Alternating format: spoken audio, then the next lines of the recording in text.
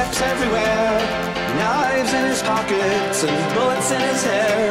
He has nothing to live for, nothing left to say.